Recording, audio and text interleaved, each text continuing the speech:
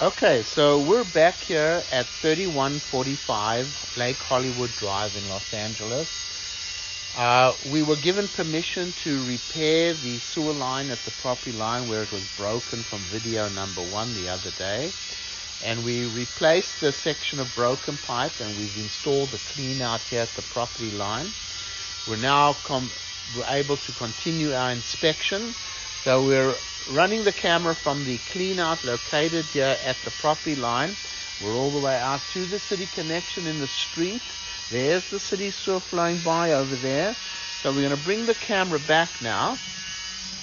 So we have a six inch clay pipe coming back from the middle of the street towards the property and it looks like it's in good condition. It's nice and clean. Remember this is all based on my opinion. This all looks good condition to me.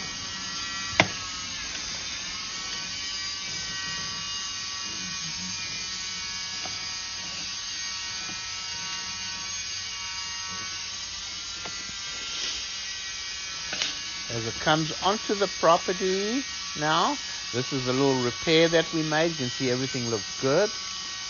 So you can have a look at video number one, and this will be video number two. So the rest of the line going out into the street is all in good condition. And uh, we're looking good over here. There's the house over there. And we'll stop the recording over here.